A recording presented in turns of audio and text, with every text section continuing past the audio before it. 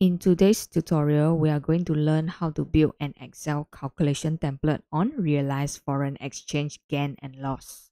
If you're working in accounting line, you will most probably face with these entries before. Let's say you are working in company A, which is based in Singapore and traded in Singapore dollar. It buys or sells its good to another company B, which is based in United States, which means that it trades in US dollar. This will result in forex gain and loss. It will become a realized once you settle the payment. What is going to happen next in this tutorial is we are going to explore this topic with a detailed example together with a brief explanation on how to use this Excel calculation template and lastly, we are going to build this template from the scratch with only three steps. So let's get started. Let's get back into our example here. Let's say company A buys some goods from company B in March 2023 and it costs USD $1,000. So with company A, they have to take in this invoice into their system first. Bear in mind, company A trades in Singapore dollar, so they have to convert this invoice into SG dollar equivalents. They decide to use this foreign currency rate on the day, which is 1.327, and this will result in a total of 1,327 Singapore dollar equivalents. After one week, company A decides to make payment to company B, and the foreign currency rate during payment processing is 1.33. So by now you will notice we have got two different foreign currency rates. One is during book in our invoice and second one is during our payment processing. So how can we calculate the forex gain and loss? First of all, we are going to take the difference between foreign currency rate during payment processing and during booking stage, which in this case is 1.33 minus 1.327. Then we take this difference to times it together with the original amount, which is USD $1,000. And we will get the result is 3. How can we tell this value is a loss or gain? It is pretty simple actually. So as long as the rate during payment processing is higher than the booking stage, this will incur a forex loss. Let's say we speak in terms of a total value in SGD equivalents. We are spending 1,330 Singapore dollar to pay for an invoice with original total value of 1,327 Singapore dollar. So this will definitely incur a loss because we'll pay $3 in excess.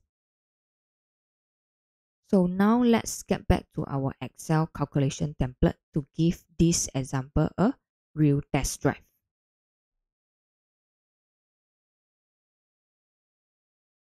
Now we are back into our Excel calculation template. Let's have a walkthrough of it. We have two worksheets. The first one is our master data, which has a collection of previous and current foreign exchange rates arranged by month from the year of 2021 until 2023. There are three currencies, which are Euro, Pound, and US dollar. These rates are extracted from MAS, which is from Monetary Authority of Singapore. This is the website. The next worksheet is Forex template. We have two sections over here. In the first table, we have exchange rate table, which is rearranged from the master data. And of course, we have three currencies mentioned just now. And take note that the date format over here is rearranged as the first day of each month of particular year. So for example, in 2021, January 1st. Next will be February 1st, March 1st, and so on. This is a very important point to be taken note. In the next table, we have calculation of realized foreign gain or loss. We have two sections. The first one is to insert the information manually accordingly. The second section is the formula link calculation. I have included a screenshot of our previous example so that we can have a test drive to test out this calculation template. So let's jump into the first information for us to insert. That will be our invoice date. According to the example, that will be March 3rd, 2023.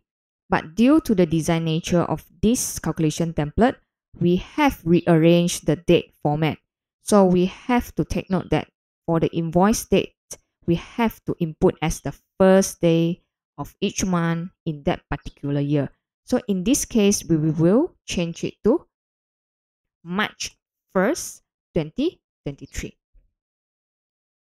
The next information is currency, which will be USD. Take note that the capital letter or small letter is doesn't matter in this context. You can choose which ever way that you want to input this currency. The next part that will be an invoice amount. We will follow the original value which is $1,000 and in this case there is no change in it. So the next one will be our payment rate. According to our example, in the third point, we can see that the payment rate is 1.33. So let us change it to 1.33. So you can probably see that the amount in SGD equivalents will change it automatically because it is a formula link. Basically, it takes the invoice amount and times it together with the payment rate. And we get a Singapore dollar 1,330. So once you have updated all the information in section 1, you can see that in section 2, the formula link calculation will run on its own. Let's focus on the first one, the rate used to take in the invoice. So according to our example, the rate will be 1.327 and it is exactly the same shown in this calculation part. So you can probably see that there is a very long Excel formula. What does it tell and what does it do actually? So basically it returns the rate used to book in this invoice from this exchange rate table over here on the left based on two criteria. The first one will be our invoice date, which is March 1st, 2023. And the next criteria will be our currency USD. We can manually double confirm over in our exchange rate table based on these two criteria. So let's do it now. So based on the currency, that will be the USD, which we can see that they will definitely, the rate will be definitely in this last column. And the next criteria will be our date. Slowly scrolling down and we can see that our desired date will be in the last row. And we can see that the rate we are going to look for is 1.327. So we can see that yes, the calculation, the formula returns the exact same thing, 1.327. So we can see that the formula is a correct one. Next, that will be the amount in SGD equivalents. This, this is a straightforward one.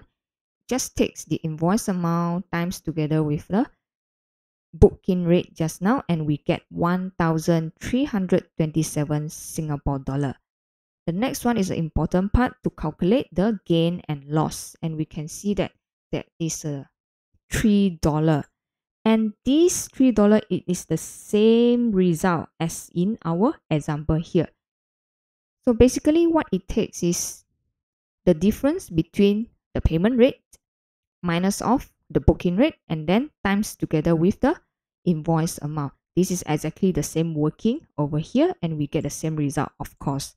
And based on the calculation, we get a loss of $3. So this is basically how this foreign exchange rates template work.